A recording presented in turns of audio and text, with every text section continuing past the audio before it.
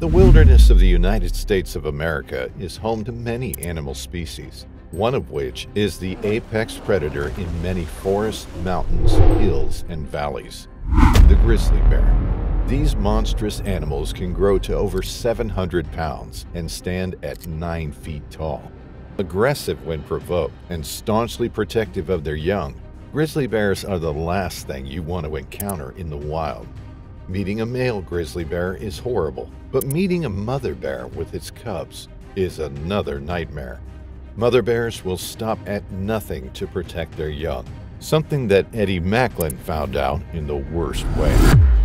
Eddy Macklin was a retired Marine who decided that life in the countryside was much more appealing than dodging bullets. So when his service was up, he bought a ranch up in Wyoming and enjoyed the quiet life with his wife. Eddy enjoyed walks in the woods, hiking, and hunting white-tailed deer and pheasant in his free time. There wasn't much else to do besides enjoying those activities, so Eddy often had friends visit him to drink and go hunting. They served with him in the Marines for many years and agreed to remain friends after their service ended. Eddy crossed paths with one of the most dangerous animals in the world on November 2, 2002, and a trail cam that Eddy put up managed to capture most of the incident. Accompanied by two of his closest friends from his service, Eric and Nigel, the three decided they would see if they could spot some migratory elk in the forest connecting to Eddy's property.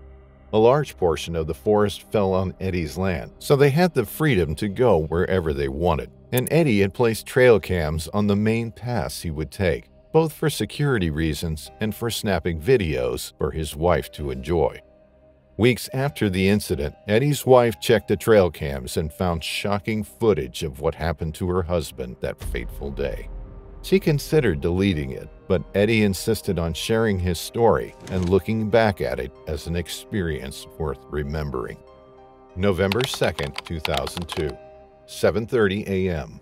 The camera's view of the trail is clear, no movement. 7:45 a.m. No audio, the camera is shaken by the tread of boots against the ground. Eddy Macklin is seen strolling with Eric and Nigel. They turn at Eddy's imperative to the camera, and Eddy waves at it. He later stated that he was recommending the camera's brand to his friends. They move on. 8:15 a.m. The camera is shaken more vigorously than last time. Its perspective is obscured by a large, unidentifiable shape that moves in the direction of the group of hunters. As it moves further, it can be identified as a full-grown grizzly bear. Within the same time frame, the camera catches more movement, later identified as two tiny bear cubs, mother bear. 9 a.m. A second trail cam captures the three hunters moving more slowly, looking for cover. They seem to be whispering amongst themselves. Moving forward, they identify some foliage and crouch down into the cover. They no longer move. 9:20 a.m. The hunters are still in their cover. Eddy steadies himself, tilting to the right, waiting for a moment, and then firing a shot. Movement is seen, and several juvenile elk dash perpendicularly to them, running into the distance. The hunters stand up while patting Eddy on the back, congratulating him. They move forward to inspect their kill. Obstructed by the foliage, it appears that they are chatting about something. 9:25 a.m. The hunters are seen moving around, but it's not clear on the camera what they are doing. Eddy later stated that he was field dressing the elk to make it easier to carry home and break down later. Field dressing is butchering an animal after you've shot it, removing the internal organs and keeping the meat as fresh as possible. This process also makes the animal easier to transport if you're on foot. In Eddy's case, field dressing the elk was perfect because it was November and the cold would better preserve the meat. 10:30 a.m. Eric is seen carrying a long, sturdy piece of wood. Some movement is seen in the forest behind him. Moments later, Nigel and Eddy walk into the view of the camera, carrying the tied-up carcass on their shoulders. They leave the camera's view. 10:40 a.m. The movement noticed 5 minutes prior becomes more evident, and the same bear spotted on the first camera comes into view. It lingers around, presumably elk guts that the hunters left at the site of the kill. After sniffing for a few minutes, it begins walking after the hunters, cubs in tow. 11:15 a.m. The first trail cam has a view of movement again, spotting the hunters walking back home, casually joking among themselves and in good spirits. The party's mood is fouled when they collectively stop and look behind them. The bear is seen charging through the brush, enraged. The hunters carrying the elk stumble and try to escape, but the bear catches up and knocks Eddy down. 11:16 a.m. The bear is ramming its claws into Eddy's back, pulling him up by his backpack and tossing him to the side. He instinctively curls up into a ball and covers his neck as the bear bites into his shoulder and shakes its head. He's seen screaming in pain, Eric and Nigel scramble to get their rifles dropped in the commotion. The rifles can be seen jutting out from under the elk carcass, so they had to roll it over. The entire time, Eddy's wrists were in pain as the bear bit and slashed at his body. 11:18 a.m. Eddy's friends grab their rifles and aim at the bear, firing one shot each. The animal groaned in pain and released Eddy. It stumbled back and appeared to get ready to charge one of the other hunters. It moved forward, but a warning shot was fired into the sky, causing it to run away. Its cubs followed closely behind. 11:20 a.m.